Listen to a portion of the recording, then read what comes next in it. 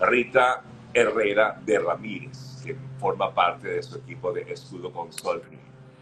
Rita, gracias por estar, gracias por permitirme conversar contigo hoy. Gracias a ti por invitarme.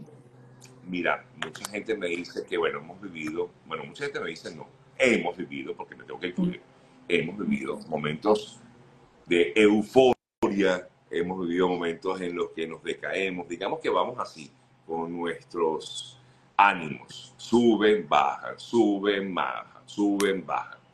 Entonces, dije, bueno, ¿por qué no hablar con Rita? A ver qué consejo nos puede dar, qué orientación nos puede dar para vivir estos momentos tan difíciles que, claro, porque al final son temas políticos, pero el tema político nos afecta directamente y sobre todo a los venezolanos. Eso es correcto. Gracias. Este, yo, yo de verdad que te agradezco que me invites porque entiendo que el espacio estaba reservado para, para lo que era noticia en ese momento. Gracias a todos los que me están escribiendo, que, que me extrañaban, de verdad que se les quiere un montón. Mira, Sergio, Venezuela ahorita es un país que está sanando, pero está herido. Y eso es como cuando tú tienes una, una cortadita. Eh, eh, se te parece que se te va a cicatrizar y se vuelve a abrir. Y tenemos evidentemente una montaña rusa de emociones. Mira, estuve leyendo y en un informe de Psicodata, que es eh, la, Escuela de Psicología de LOCAPI, es un informe para el 2024 y es preocupante, de cada 10 venezolanos, 9 tienen una vulnerabilidad emocional o de salud mental.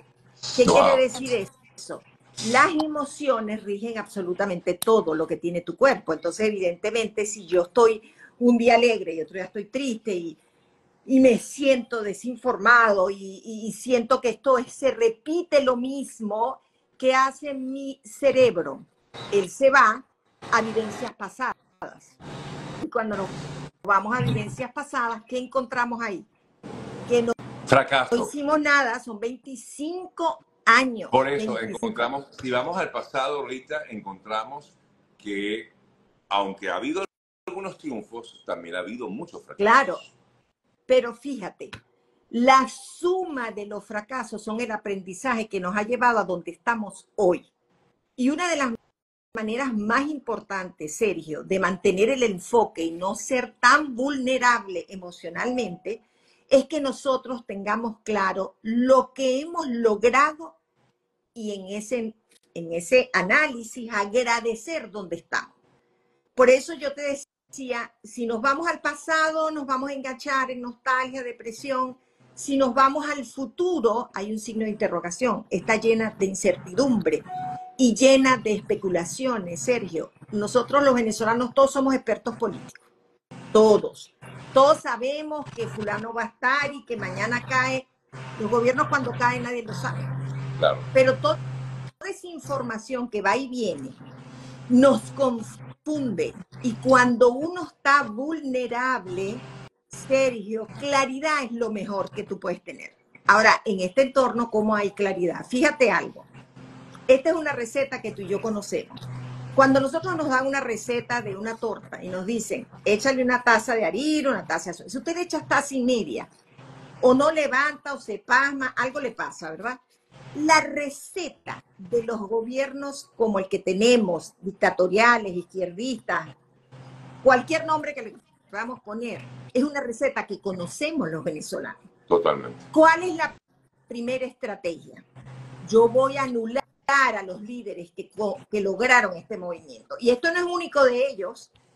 Yo quería que acordáramos de Nelson Mandela. ¿Cuál, qué motivó a Nelson Mandela después de 27 años preso salir a presidir ese país? ¿Qué lo alimentaba? Porque te digo, la depresión tiene que haber sido gigante. En, y, en la cárcel más. Exacto. Entonces, vamos a ir identificando qué, de qué me puedo enganchar yo, Sergio, para continuar. Porque la estrategia la sabemos. ¿Qué es lo que hacen ellos? Represión, represión, represión.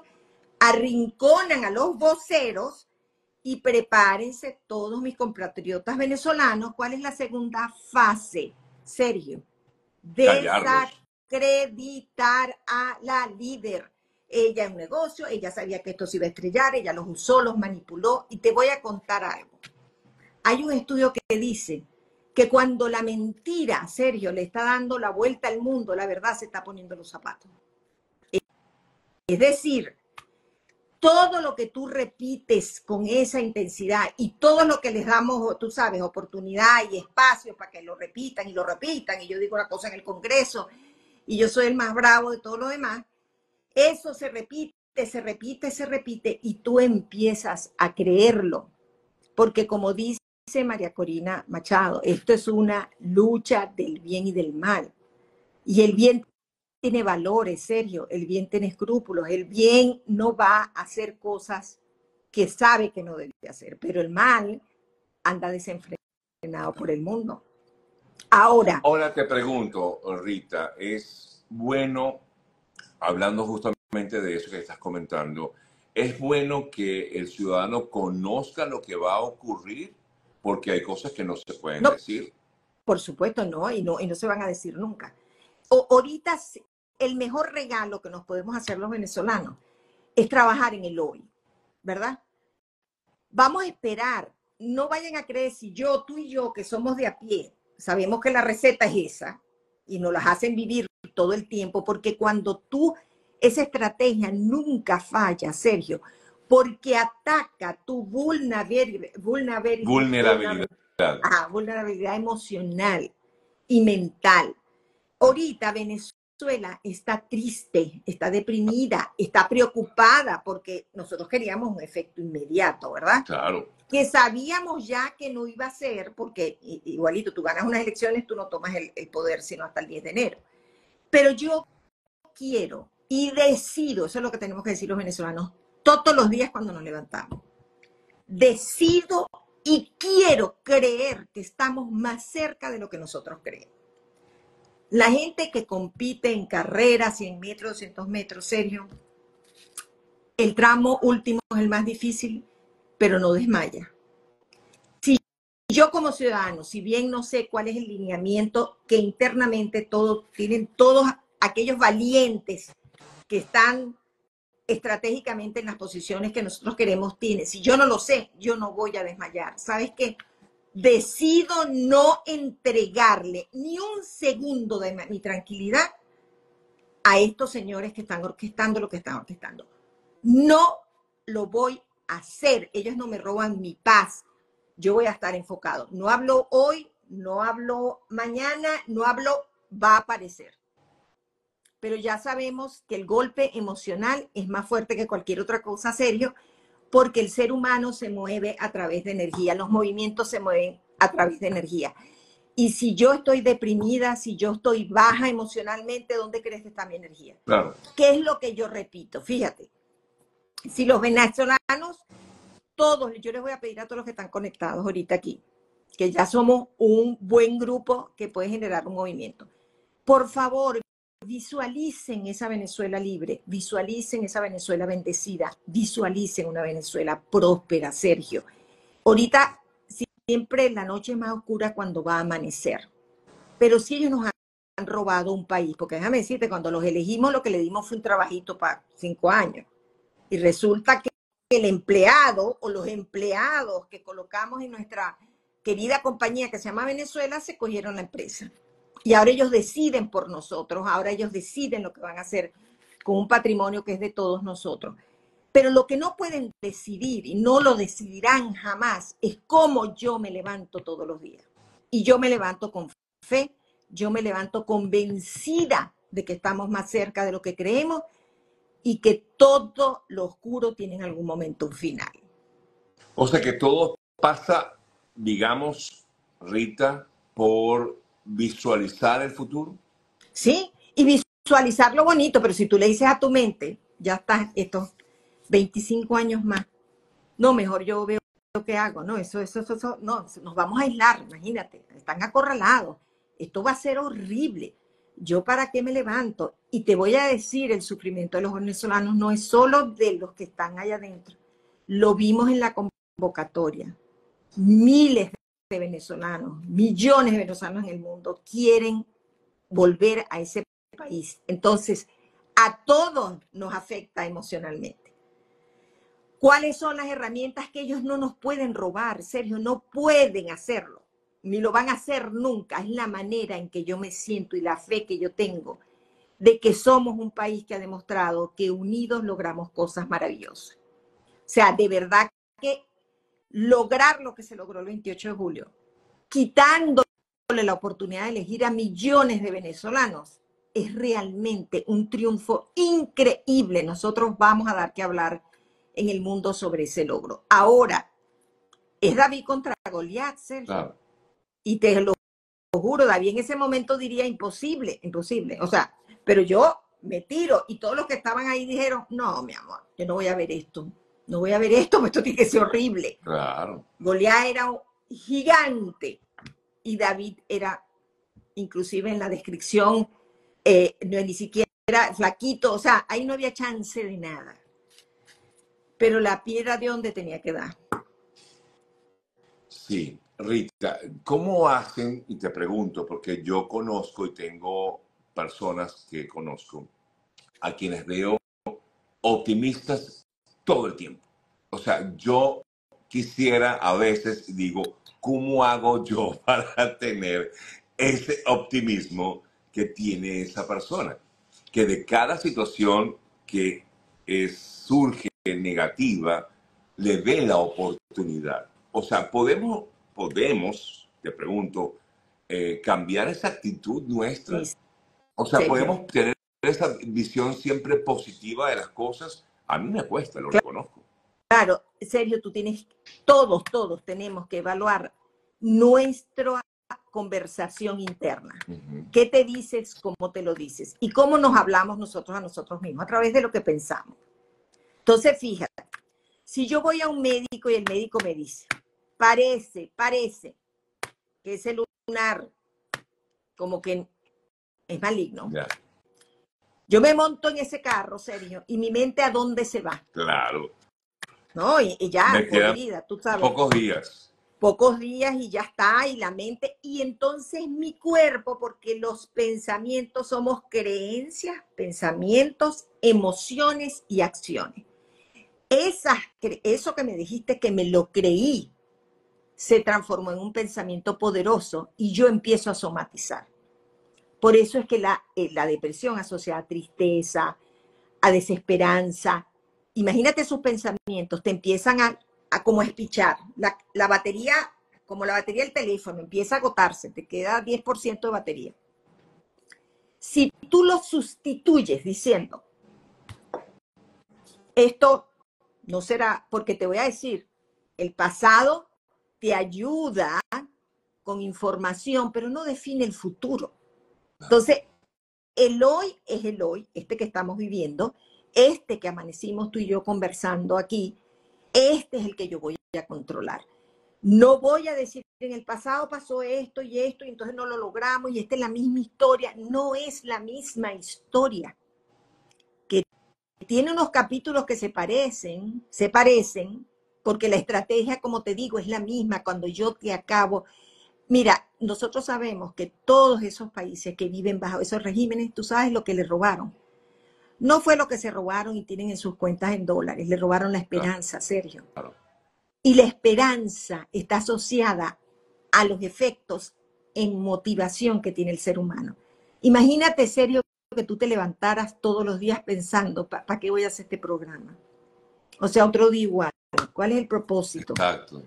No, yo eso no se lo voy a entregar a ellos, no se los entrego. Por lo tanto, todos los días veo los comentarios, los que a mí me interesan, donde yo estoy informada. Y decreto y digo, esto nos acerca un poquito donde estamos. Hay gente que está trabajando 24 por 24, tocando las teclas que se tienen que tocar, porque como te digo, es David contra Goliat. Entonces, si tú quieres cambiar la forma en que te sientes, cambia la forma en que piensas. ¿Cómo alimentas? Mira, hay, libros maravillosos que hablan de cómo tú puedes nutrir tu mente para nutrir tu alma. Ese es el combustible que necesitamos. ¿Y qué es lo que necesitamos? agradecerle a Dios todos los días de la gente que ha liderizado este proceso, Sergio. Hay que, no solo porque, no es que ellos no tengan miedo, porque acuérdate que la valentía no es tener miedo, la valentía es seguir adelante a pesar de que tengamos el miedo. Totalmente. Entonces, los valientes que están con las botas puestas, Ajá. yo los tengo que agradecer todos los días. Yo tengo que mandarle energía positiva. ¿Cómo le mando energía positiva si yo? Ellos no saben ni siquiera que yo existo, serio. Claro. Pero yo sé que ellos existen y que están haciendo un trabajo.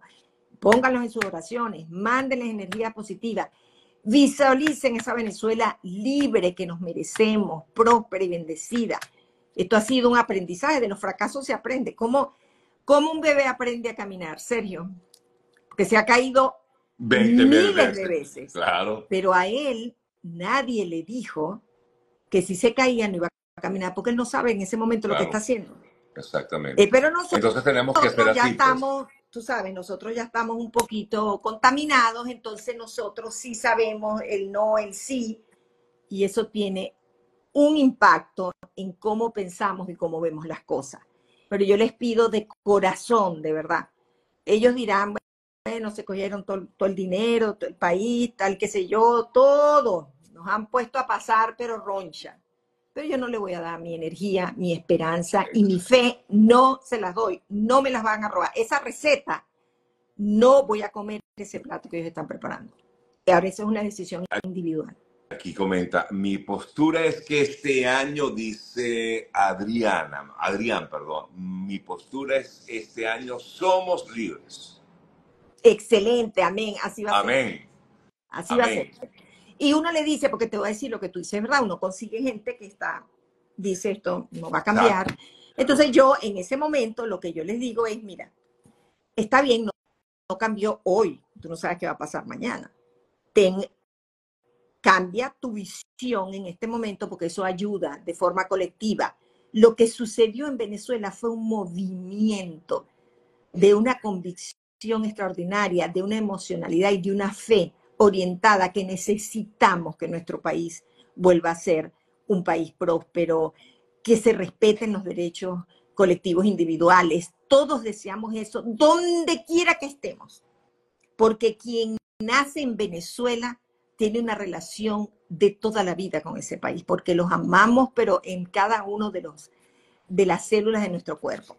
Y el amor, cuando es amor del bueno, Sergio, es un amor que siempre está lleno de ilusión y de esperanza. Y estos cuatro gatos, porque cada vez son mejores, son menos, Sí. este, están arrinconados, que se paseen el país como se lo pas- paseó María Corina Machado, para que de verdad le pongan el estectocopio a la situación que tiene Venezuela. Ellos no se pueden dar ese lujo. No se lo pueden dar porque ya no tienen moral. Entonces nosotros sí tenemos, tenemos fe, tenemos esperanza, tenemos gente pensando inteligente que está haciendo todos los días algo. Y yo creo que ahora la comunidad internacional no tiene excusa, Sergio. Ganamos de calle. Sí, por eso creo que es importante eh, disfrutar estos pequeños momentos, estos pequeños triunfos que se dan eh, poquito a poco, pero Exacto. se dan, se dan y se dan. Y si ocurre alguna cosa negativa, pues verlo como más bien algo que nos puede ayudar a, a- a- a mejorar, como un ejemplo más bien para corregir. ¿no? Exacto. Te preguntan, ¿cómo reaccionar ante aquellas personas que dicen que nada de esto cambiará, un poco lo que comentabas, y más bien lo que buscan es bajarte la autoestima? Porque no es solamente eh, un grupo político, es también gente común, como uno, que Sí. uno se consigue en la calle. El otro día me conseguía en el gimnasio y me dijo, mira, ya esto se acabó, ¿verdad? Yo, ¿sabes? Cuando tú dices, ya va, espérate. Yo vengo aquí a quitarme el estrés de bajo. ¿ah? Y tú dices, no, ya va, espérate. espérate. No, claro, tú les dices, cuando te digan esto se acabó, tú le dices, no, esto está comenzando. ¿sabes? Y ya, Esto está esa fue mi respuesta. No, hermano, le dije yo, está- esto está apenas empezando. Eso es correcto. Y fíjate, Sergio, en las grandes batallas, en las grandes batallas, cualquiera que ésta sea, mira, cuando tú vas a conquistar un mercado, vamos a ponerlo si no es del punto de vista político, Ok. tú vas a conquistar un mercado, tú tienes una estrategia para penetrar ese mercado, ¿verdad? Tú la lanzas, la evalúas y muchas veces tienes que retroceder, organizarte y seguir, ¿verdad? En las guerras es lo mismo. Hay momentos en que tú dices, bueno, ya va, espérate. Yo, yo, yo pensé que esto iba a pasar así, estratégicamente hablando, y yo retrocedo, me reorganizo, implanto algunas estrategias que ya yo me había pasado si el escenario no era lo que yo quería. Entonces yo creo que estamos en un momento de reorganización, de alinear, de ejecutar estrategias y por eso es que el término del mundo buca fue creado por este, los Marines al finalizar la Segunda Guerra Mundial, porque es un mundo vulnerable, incierto, complejo y ambiguo. Y es decir, cuando tú preparas a alguien para la guerra, nada es predecible. Nosotros estamos en una batalla que no se puede predecir, pero no perdamos de vista que estamos, es una, es una pelea entre David y Goliat. Lo que no quiere que decir, porque David se ve así, que va a perder. No, créanme. Hemos dado unos pasos extraordinarios y como tú dices, una de mis recomendaciones es celebra hasta las pequeñas cosas. Celebra que hoy eh, el, mundo, nuestro presidente electo, está caminando con el presidente de España. ¿Verdad? Celebra eso. Algo se habló ahí. Eh, y cuando no tengamos algo que celebrar, porque nos dieron, tú sabes, nos dieron un golpecito que nos duele, en ese momento decimos nos vamos a poner de pie. Está bien, el otro no es mocho, se está peleando, el otro quiere algo, Sergio, pero nosotros somos más, nosotros somos mayoría, somos gente de bien. Son 25 años esta gente sembrándose, pero ahorita no cuenta con el apoyo del pueblo de Venezuela y eso tiene un impacto importante. Y eso es lo que nos tenemos que decir todos los santos días. ¿Dónde estábamos? ¿Dónde estamos? Y hemos avanzado, como tú dices, poquito a poquito, estratégicamente, pero lo vamos a lograr. Créanme, tengan fe, pero no entreguen la esperanza, la alegría, el optimismo y la fe. Eso no es de ellos. Todo lo demás se lo pueden coger si quieren pero eso es nuestro. Así es, así es. Rita, gracias. La no, gente a ti. está súper agradecida. Hasta me dicen, tráela todos los días. No, no, mire, de lo bueno poco, ¿verdad, Rita? Exacto, exacto, de lo bueno poco, sí. De lo bueno poco, porque efectivamente a Rita sí hay que tenerla eventualmente. Lo había parado, como ya me comentó ella misma, por todo el tema de actualidad informativa, pero sí, hay que reactivar estas conversaciones con mi querida Rita. Para quienes no saben, Rita es eh, consejera a nivel empresarial, pero también personal. ella justamente eh, trabaja en esto como coach de empresas, eh, de emprendimientos y también a nivel personal. Gracias. A no, mi querida Rita. ustedes, ustedes ya saben, para adelante, para allá, enfocados, vienen cosas maravillosas. Amén. Amén. Un besito, los quiero mucho. bye. bye.